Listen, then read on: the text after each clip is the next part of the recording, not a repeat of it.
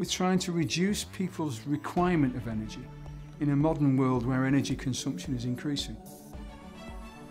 Energy usage is what we need to be focusing on as, as not just automotive engineers, but as a global community.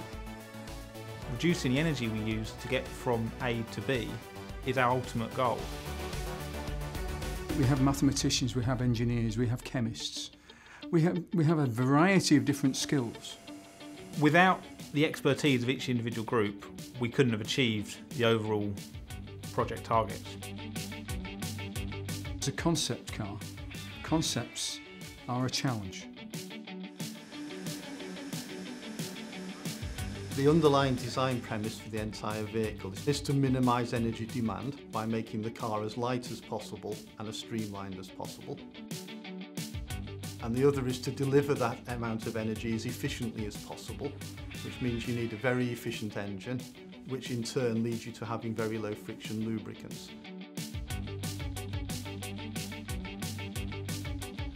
You need to take a holistic approach to the entire car.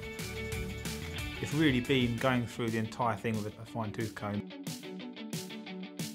We've looked at it from the point of view that we want to make it as friendly to the consumer as possible.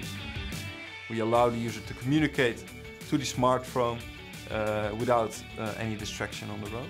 We wanted to create more connectivity between the user, uh, the smartphone and the vehicle. We're testing our car against three different vehicle archetypes. The testing that we're doing, it needs to be honest, it needs to be transparent.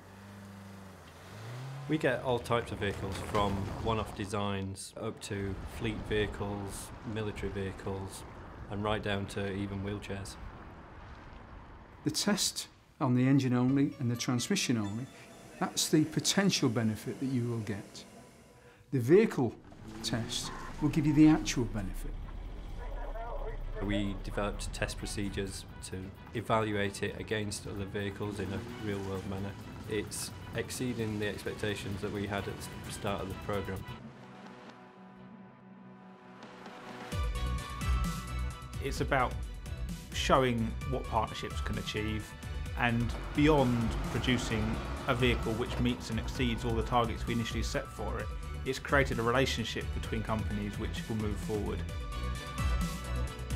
By going simplistically, you can get a very efficient car that is doable today rather than in 20 years' time.